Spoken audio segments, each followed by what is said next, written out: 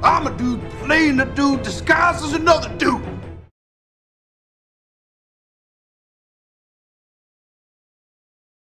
Hello, collectors, and welcome to the Discount Action Figure Dude. I am your host, Christopher, and we're getting to the end.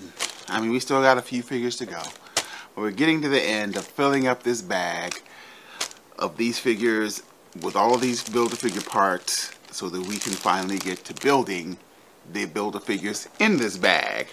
Today, as we rustle through our bag, our grab bag of random Marvel Legends, let's see what we pull out. And today we have pulled out, ah, yes, Kid Marvel's Kid Omega. I have no idea who this is.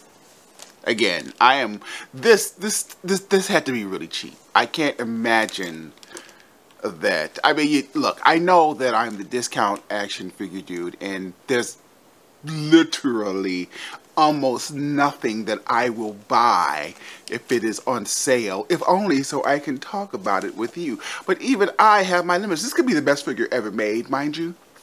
But I, I honestly don't know who this is. I don't know who Marvel's Kid Omega is. Oh, oh, by the way, I did it in my last video, and I'm going to ask again just in case somebody didn't watch that and they didn't know. Who the hell is this? Yeah, I don't know who he is. But, um, yeah, we got we have Kid Omega here, who we we don't know who he is. He's clearly an X-Man of some kind.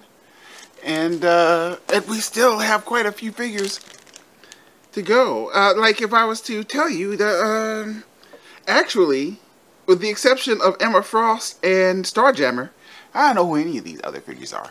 But um, enough of that.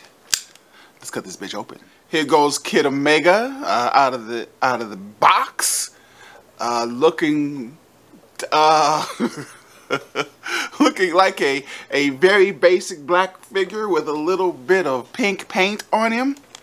And of course the midsection for Chode, which I think, if I, this looks like the midsection for uh, Abomination. But, you know, whatever. And he has his accessories, which includes uh, some kind of uh, special effects gun, which looks kind of cool, and some hands. But hey, uh, let's put the uh, Build-A-Figure piece away. Let's hope Kid Omega stands up. But let's say we take a closer look at Kid Omega.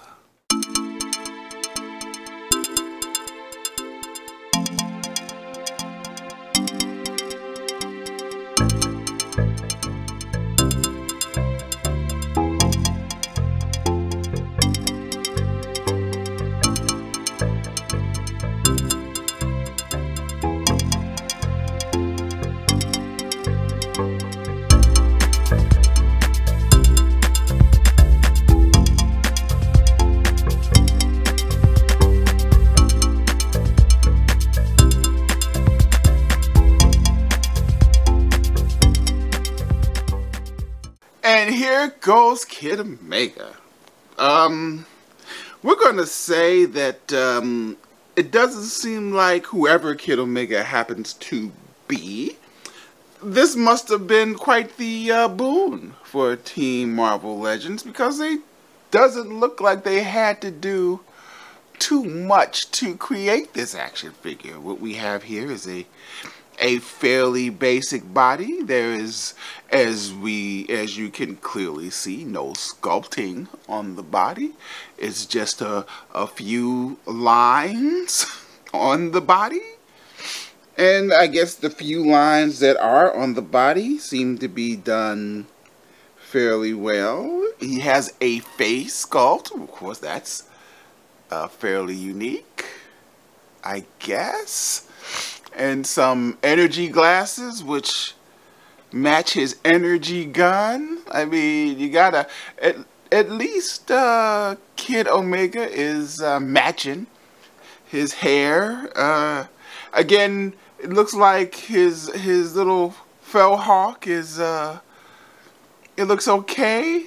It is a sculpted piece on the figure. I'm not saying again, you know, uh, like putting some kind of texture or wash on this hair and this figure at that point would be just, you know, flat out insulting. The gun looks pretty cool. You know, it's translucent. It's warped a little bit. But you know what? I don't know who Kid Omega is, actually. And it could be that his gun is warped in real life. You know, that way he can curve the energy blast with his warped gun. I'm guessing I got Kid Omega from deep a discount. And I am going to guess that I probably paid anywhere from 13 to $15 for Kid Omega. I shouldn't have paid that. I shouldn't have paid that. I shouldn't have bought, in all honesty, when I say be better than me, I'm not trying to be glib or funny. I mean it. I shouldn't have bought any of these figures on this particular wave. I mean, none of them. Monet St. Croix turned out to be a pleasant surprise, and Emma wasn't too bad. I should have bought any of them. I certainly shouldn't have bought this. Now, if you happen to be a big fan of Kid Omega, I'm pretty sure that this Kid Omega would be a disappointment to you. I'm pretty sure. But hey, you know, we, you know, if you, you know, Kid Omega, at least he, you know, he can, it's a Spider-Man body, so he can do Spider-Man type things. He can, you know, so, you know, Kid Omega can do all kinds of crazy stuff if you need him to do it. So, I mean, look at that articulation. Look at that. That's great. So, what kind of value do we assign Kid Omega? And this is not to insult the big Kid Omega fans out there. You know, I mean, this figure might be spot on perfect for what you're looking for, but this figure has no interest for me in, for instance, this guy. I, don't know who he is. That's why I'm asking you, who is he? But I find him endlessly fascinating. I don't know. He, he just, he has bug eyes and weird red dots protruding from his chest, including, ah, he has red dots everywhere, including double holsters for his gun. You know, so he can put his guns places. Kid Omega has a blank black body with pink paint on it. So, as far as value is concerned, sadly, Kid Omega has no value to me. He has zero value to me.